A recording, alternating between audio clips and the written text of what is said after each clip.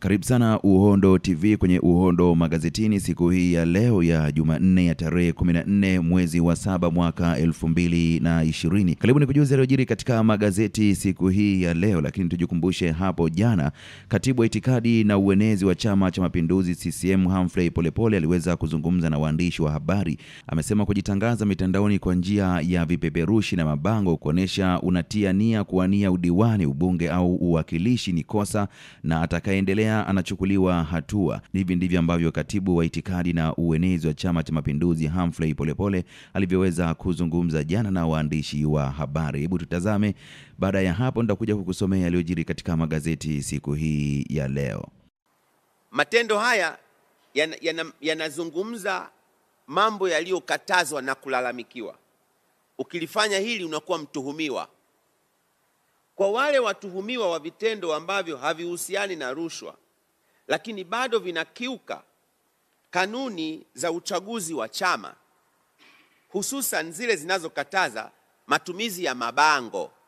Mabango mabango, Kiingereza chake posters, mabango, vipeperushi vipeperushi, Kiingereza chake flyers.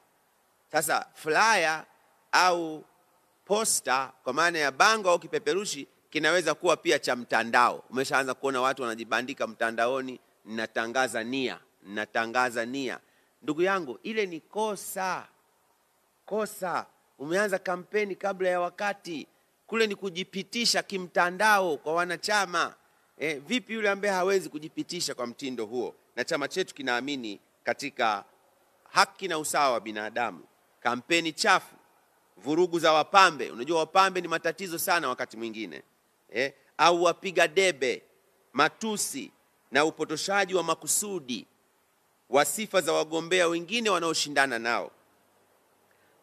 Hawa wataadhibiwa na kamati ya siasa inayohusika kwa kuwakemea na kuwaonya mapema waache mara moja kufanya vitendo hivyo, na watuhumiwa hao watalazimika kutii amri iliyotolewa na kamati hiyo.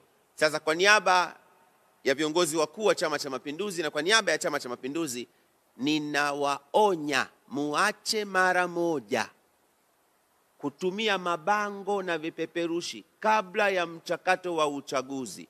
Fomu zitaanza kuchukuliwa kesho. Wewe unajiweka una, unajipiga mabango na vipeperushi mtandaoni, ni kinyume na taratibu tulizojiwekea.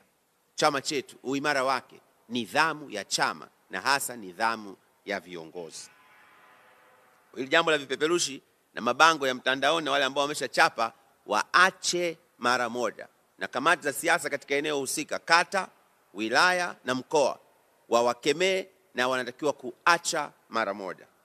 Ambao hawataacha basi, tutaona namna nzuri ya kuwasaidia. Karibu ni kujuza yaliyojiri katika vichwa vya habari siku hii ya leo, na moja kwa moja nikianza na gazeti la Habari Leo lenye limeandika aliyeua mke watoto kuhukumiwa kunyongwa, uwazi kutawala kura uteuzi CCM, nchi zingine East Africa kufungua anga Agosti. Ni habari ambayo inapatikana katika ukurasa wa tatu. Ikulu Chamwino yafunika East Africa ni habari ambayo inapatikana katika ukurasa wa tatu katika gazeti hili la Habari Leo. ya yampongeza JPM usimamizi wa fedha, ukurasa wa nne. Habari hii utaipata kwa undani zaidi. Nikiachana na gazeti la Habari Leo, nijikamata gazeti la Mwananchi lenye limeandika wanawake Chadema watikisa majimboni, ni katika kura za maoni za kuwania ubunge zilizoanza jana. Azaki zaeleza ongezeko sheria zinazolalamikiwa, ni habari ambayo inapatikana katika ukurasa wa pili. CCM yaonya mizengwe uchukuaji fomu kuanzia leo, ni habari ambayo inapatikana katika ukurasa wa nne. Wazazi 35 wakamatwa kuwafundisha watoto unyago, ni habari ambayo inapatikana katika ukurasa wa tatu katika gazeti hili la Mwananchi. Kuelekea uchaguzi mkuu elfu mbili na ishirini nane ni nane uchaguzi wa rais muungano, ukurasa wa nane. Habari hii utaipata kwa undani zaidi. Ukatikaji umeme kutumika kupima watendaji wa TANESCO ni habari ambayo inapatikana katika ukurasa wa pili katika gazeti hili la Mwananchi. Nikiachana na gazeti la Mwananchi nikikamata gazeti la Nipashe Mwanga wa Jamii lenye limeandika Tundu Lissu afunguka kuhusu Membe, ni habari ambayo inapatikana katika ukurasa wa pili.